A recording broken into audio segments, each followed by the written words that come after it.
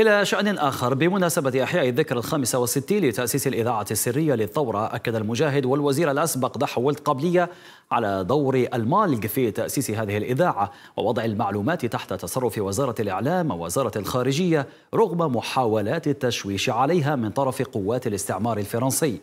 التغطية لشهرزاد ولد عزوز.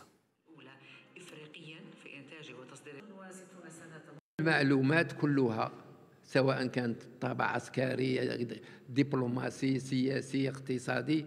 هذه هي هذه بنك la banque نتاع المعطيات la banque de données عند المالك هو اللي يوزعها هو اللي يوضعها آه، تحت التصرف ولا تحت الاستغلال نتاع وزارة الخارجية وزارة الإعلام.